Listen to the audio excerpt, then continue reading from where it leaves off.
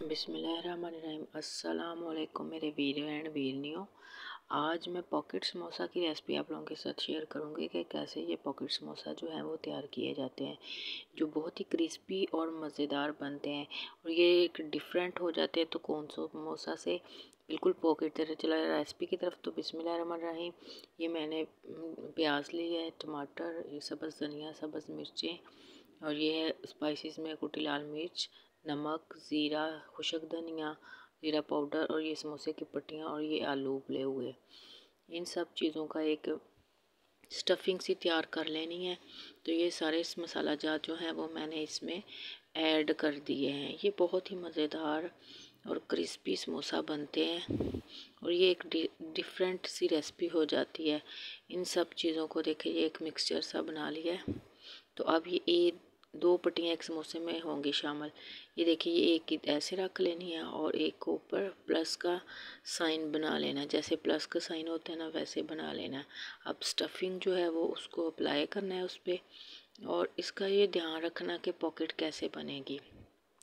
एक परत जो है वो पहले देखें जी, एक परत नीचे वाले की पहले ऊपर रखनी है, फिर दूसरे की रखनी है, फिर ये इस तरह ये देखें, ये माशाल्लाह से कितनी अच्छी पॉकेट बन गई। बहुत ही आसान तरीका है ये।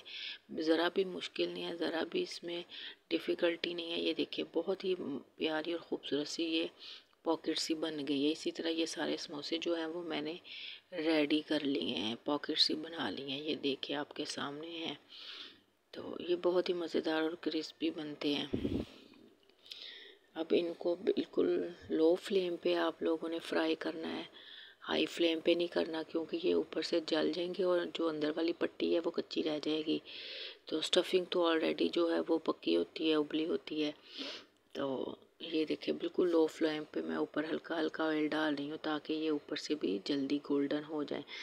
जितने में ये फ्राई हो रहा है मेरी वीडियो को लाइक कर दें, मेरे चैनल को सब्सक्राइब करें और बेल आइकन ज़रूर प्रेस करें ताकि आपको अच्छी अच्छी वीडियोस की नोटिफिकेशन जो है वो मिलता रहे।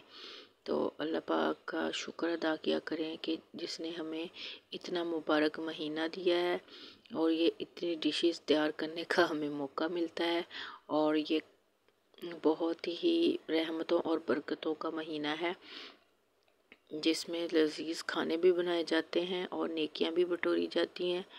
माशाल्लाह से देखें, ये बहुत ही क्रिस्पी और मज़ेदार जो समोसा है, पॉकेट समोसा है ना, वो बिल्कुल तैयार है। ये देखें आपके सामने, बहुत ही मज़ेदार और ये क्रिस्पी बनते हैं। Thank you for watching.